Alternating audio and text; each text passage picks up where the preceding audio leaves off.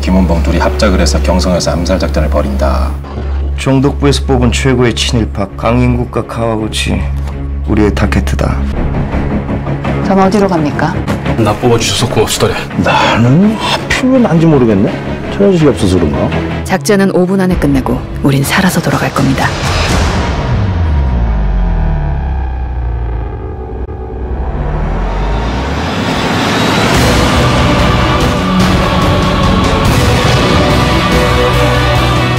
아, 그 제가 친일한 거 아니지 않습니까? 이제 와서 그걸 쑤셔가지고 뭘 어떻게 하겠다는 거예요? 역사 바로 세우지 뭐 취지가 잘못됐어 노무현이 지금 왜 갑자기 나서 그 그걸 알려줘야지.